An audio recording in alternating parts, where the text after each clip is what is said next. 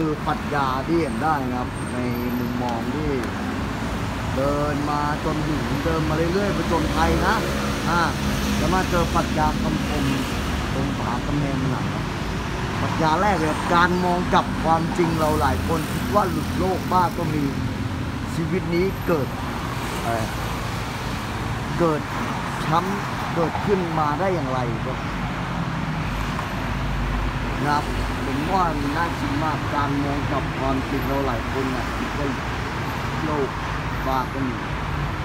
แต่จริงๆอะโลกนี้จะมีสี่สามห้าเราคิดต่างกันครับจริงๆก็คือการประจนภัยเราจะไปคิดได้ทุกสมัยนะใครอยากจะขับหุ่นยนต์ไปประจนภัยในอวกาศเล่นคอนเสิร์ตระดับจักรวาลกับผมบ้างเหรอครับนี่อะไร องที่เจ็ดศูนย์ลบสองห้าเจ็ดศูนย์การนำเก้าสิบเฮ้ยนี่มันอะไรเนี่ย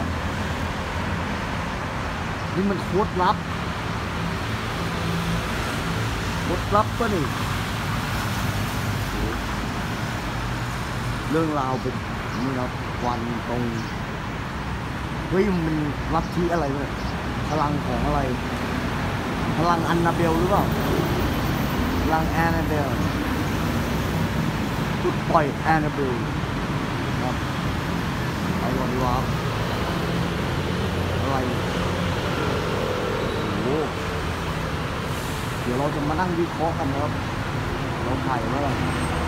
ตอนนี้เราต้องไปประจนภัยกันต่อแล้วเจอ